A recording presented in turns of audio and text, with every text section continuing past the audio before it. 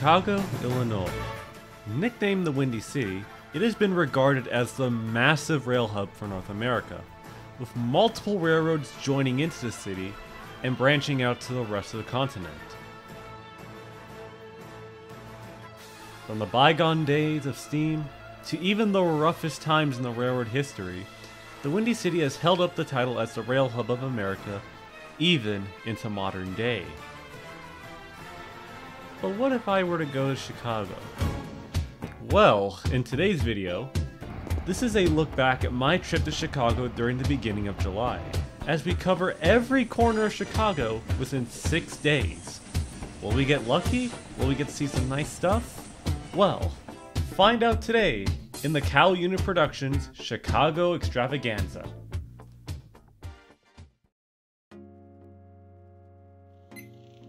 Waking up at 4 a.m., we essentially packed up and left the house around 5, just as the sun was starting to rise.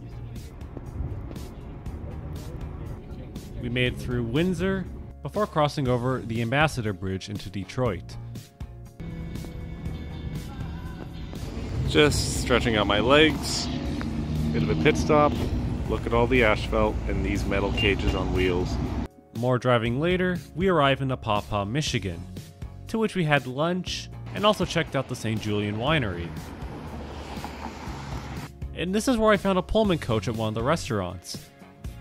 Given that there was congestion on Interstate 94 going into Chicago, we ended up taking a detour down to Gary, Indiana, to which we saw the US Steel Mill, checked out one of the beaches,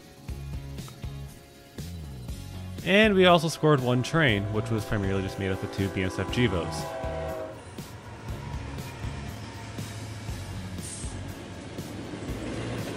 After getting back onto the highway, we passed through Gary, and here's where I managed to snag an image of a Chicago South Shore GP38. If anyone knows the context behind 2009 sticker, let me know.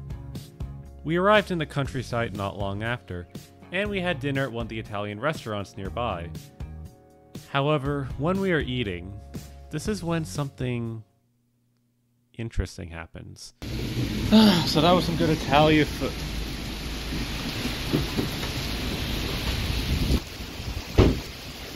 I won't be going anywhere for now. Heavy rainfall and thunder hit Chicago like a flood in just minutes. Even on the drive home, there were already signs of like flooding. But thankfully, we made it back to the hotel safely. The first day was literally just driving from home all the way down to Chicago. The real stuff would begin tomorrow. Day 2 started off with some action near Willow Springs, so an intermodal to start off the day.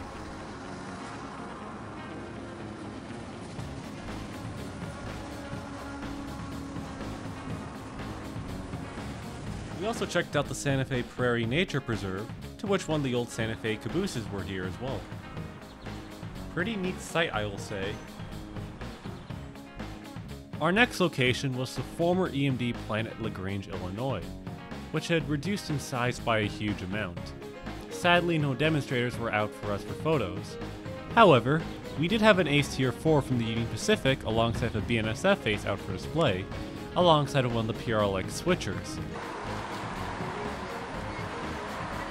But wait to start off the actual rail fanning trip with none other than along the racetrack at LaGrange Station, which was a location I actually visited during my second visit to Chicago. Yes, I visited Chicago more than once, don't question. I'll now show off some action from what I captured here at LaGrange. First off was a BNSF manifest with just two Gevos.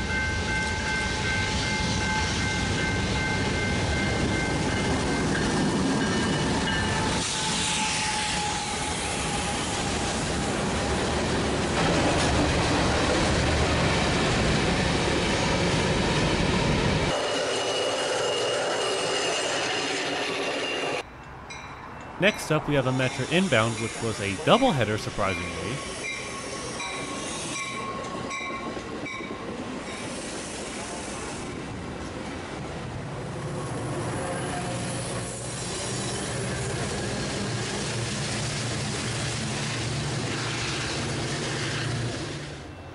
And not long after was a Metra outbound with none other than the ever so infamous 210.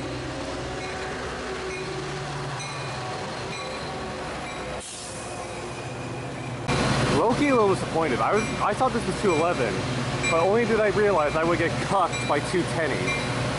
I got cut, catfished by a fucking locomotive that someone has a sexual attraction to. What the hell? Following my little rail fanning rant, the Amtrak Carl Sandburg pulled in on the adjacent platform, with one of the Siemens Chargers leading it.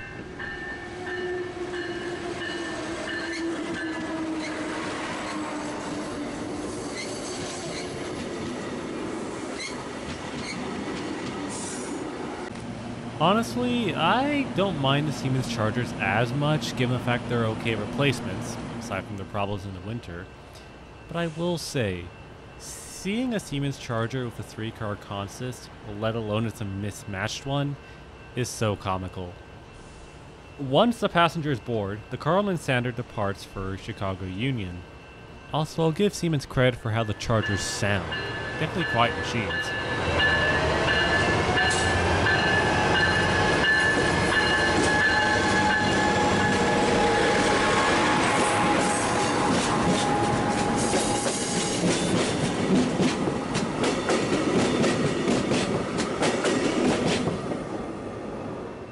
The next train that we scored was a Metra Express train with another doubleheader.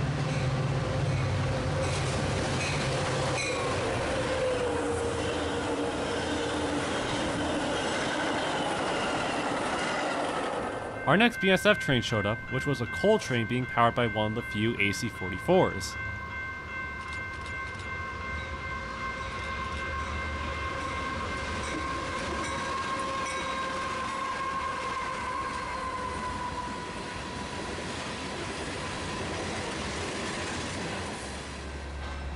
And the last train at LaGrange for now was a BNSF Manifest being powered by 2-9s.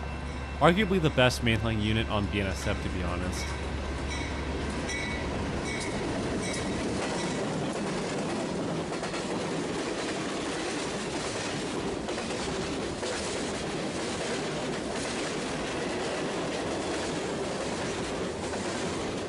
Next location was along the Union Pacific West Line at Elmhurst, Illinois. Here I was provided with another decent amount of Metra and UP action. First up, we had a Metra inbound pulling in.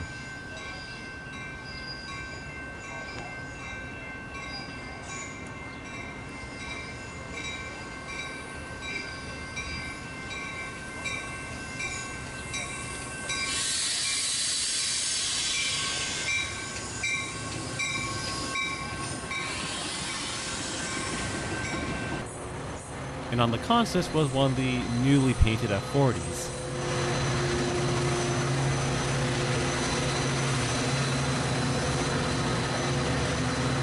Following not long after was a UP coal train, with a Tier 4 Ace trailing second.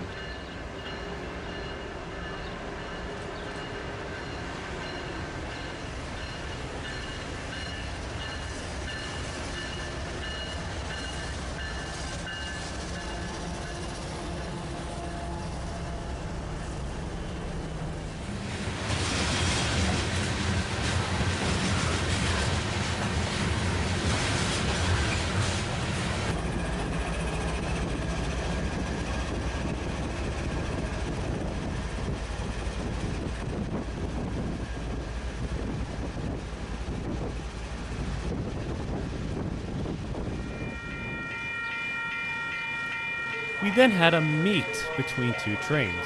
First was the Metra outbound with one of the older F40s pulling it, as they met an all NS powered train with a lot of horn action from one of the C6Ns.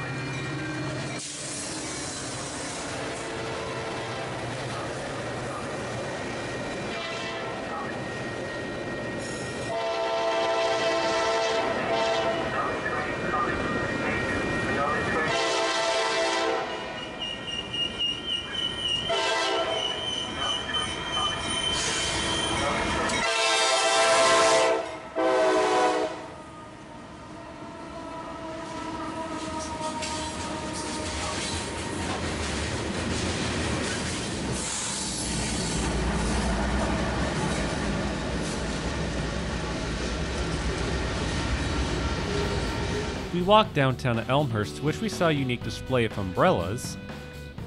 had lunch at a sushi place, before returning back to the platform and shooting this UP manifest.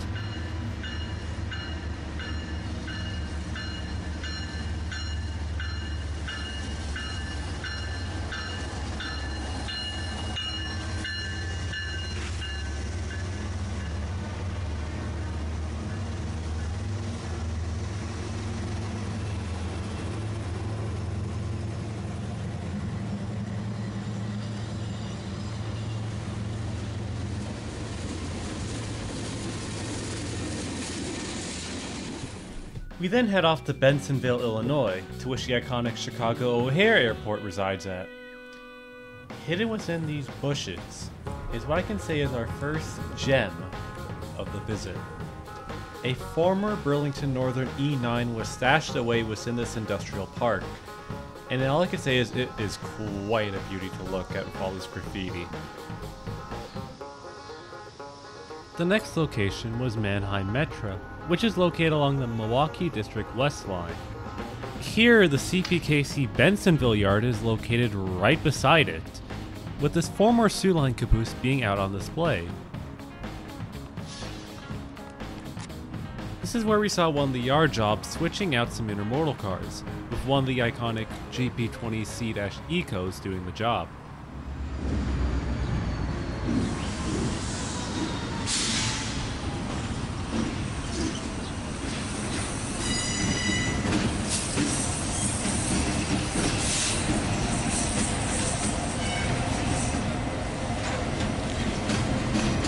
The last train was a CP Manifest being pulled with a CWM.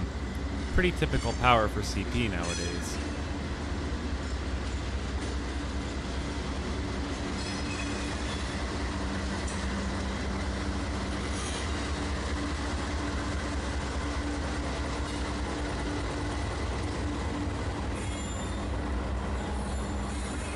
After visiting some extended family, I visited LaGrange for some night action.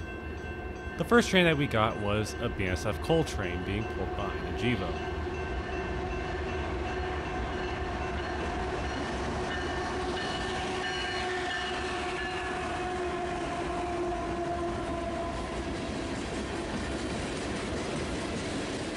Then we had a Metra outbound come in with one of the old scheme F40PHs pulling it. Also note the interesting bill it has.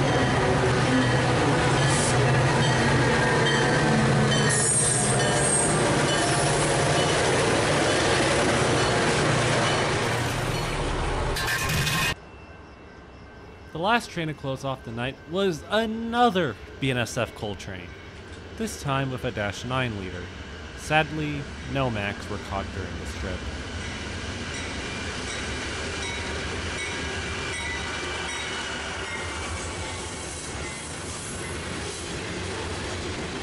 And of course, a Gevo DPU. So second day was a success, tackling various main lines and going to the west side of Chicago in a breeze. Could tomorrow be better? Day 3, we would hit up the south side of Chicago, the most sketchiest area of Chicago. Our first location would be Blue Island, Illinois, a rather popular rail fanning location in the Chicago area, known for the railroad diamonds and the bridges, and quite a lot of action can go on here. However, upon arriving at Blue Island, the road was fucked. This was because construction was going on, though. However, I managed to stay and catch the CSX Intermodal here.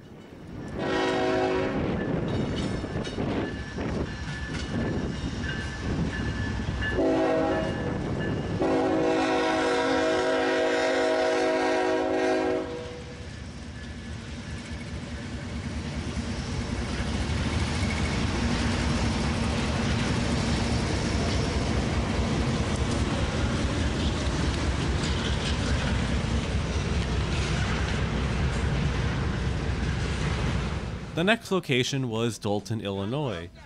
Another railfan location I will say, despite the sketchy area, you can catch a good amount of freight traffic through here, seeing as you have not two, but three main lines in one.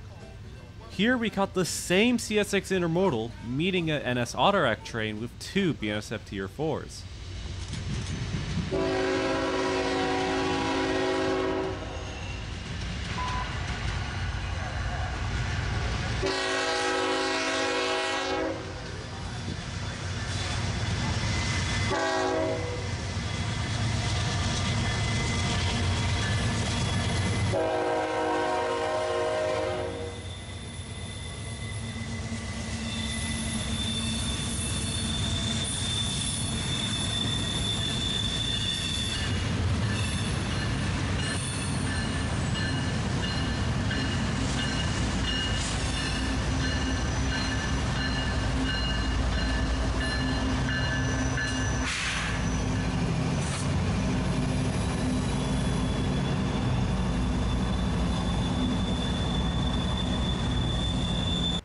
Little while later, we catch the CSX southbound manifest passing over the Diamond. Also, a bit of a fun fact the lead unit has a K3LA.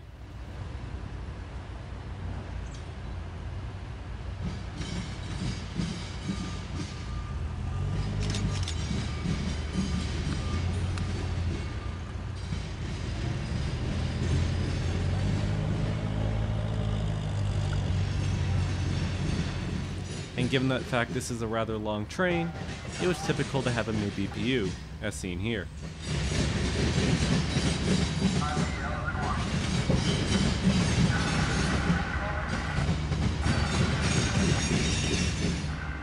On our way to our next location, we managed to spot a CSX manifest departing the yard, which had two UP Gevos leading, and three gensets dead in tow.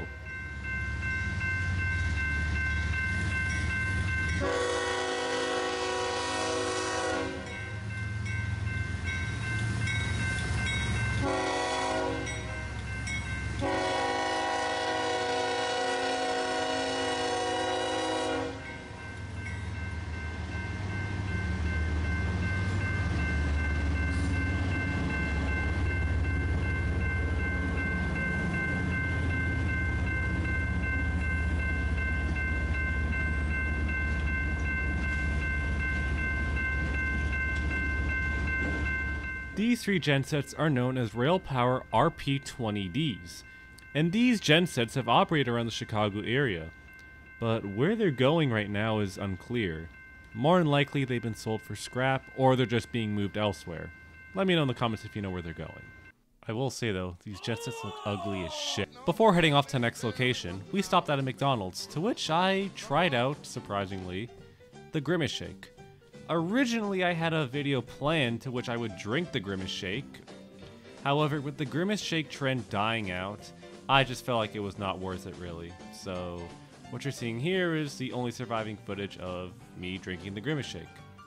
After the McDonald's visit, we head straight to Homewood, Illinois, which is where the Athean Homewood shops were, and to which the Metra Electric District terminates.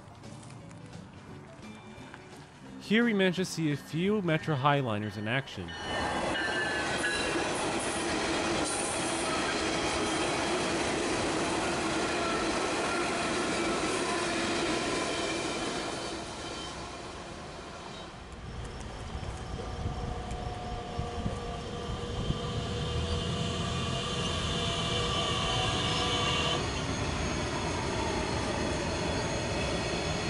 We also checked by the yard nearby, which had a few SD70M-2 sitting out, alongside a pair of Jeeps. Our next location takes us all the way down to the industrial side of Chicago. This is where we saw one of the last active Conrail switchers still wearing their original blue livery.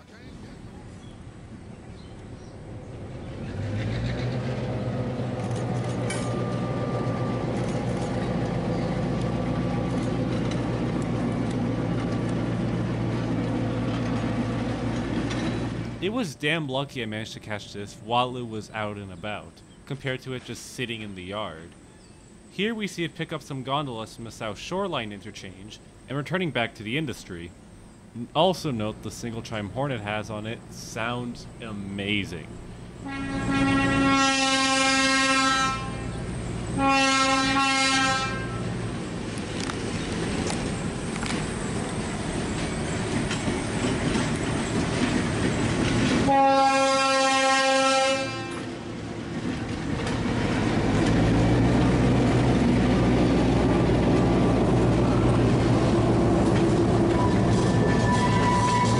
Getting the Conrail switcher, we head straight for downtown Chicago for the iconic Navy Pier. This is where we would stay up until the evening.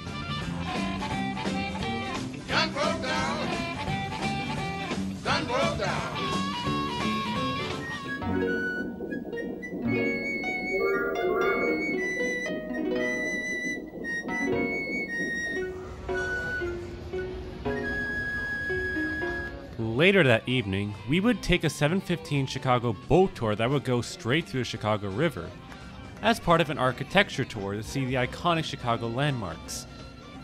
We also went a bit fast and did some uh, trolling, of course. Aside from mocking another boat, we did some uh, flying along the water before entering in the Chicago River. And all I could say is, damn. Despite the damp weather, it was quite fun being on a boat and seeing the iconic sights of Chicago. I will now give off a musical montage with the iconic landmarks in their glory. Clock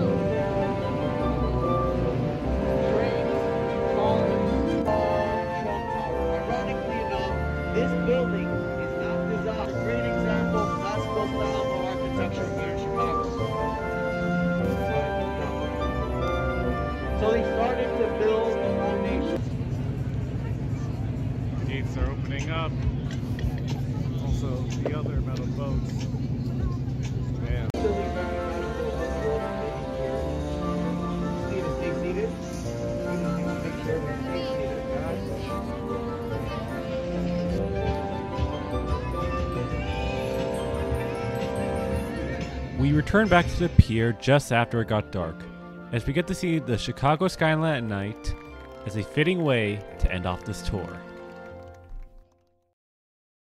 I spy. Following the tour, we check out the last location for the night, that being the Roosevelt Road Bridge, which is close by the iconic Union Station. This is where most of Amtrak's long distance trains and Metra's racetrack trains are serviced up and set out for more journeys. During my visit, we see a almost empty Metro yard, some BNSF Gevos, and the Pepsi Can Heritage Unit alongside a few ALC 42s and Dash 8s. Day 3 went surprisingly well. We got to check out the sights of Chicago once more, head to the south side, and even scored a rare Conrail switcher in action, so checking off something off my bucket list for sure. And it's to here we'll close off for part 1 of this vlog.